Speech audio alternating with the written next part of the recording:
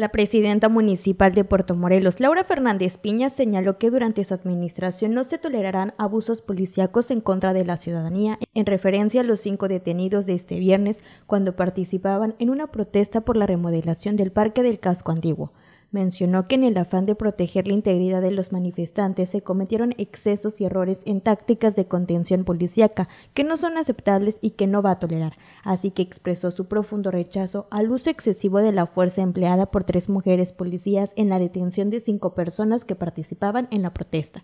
Además, dio a conocer que ordenó la separación inmediata de sus funciones de tres uniformadas involucradas para ser investigadas y deslindar responsabilidades, y reiteró que se aplicará mano dura para sancionar cualquier abuso en contra de los ciudadanos. Por último, detalló que la policía Quintana Roo de Puerto Morelos acudió al Parque del Casco Antiguo en detención a una solicitud de apoyo de los directivos encargados de la obra de remodelación, que temían por la integridad física de un grupo de manifestantes que estaban dentro de una zona en la que se trabajaba con maquinaria pesada. Con imágenes de Joel Pol informó para Notivisión Silvia Fernández.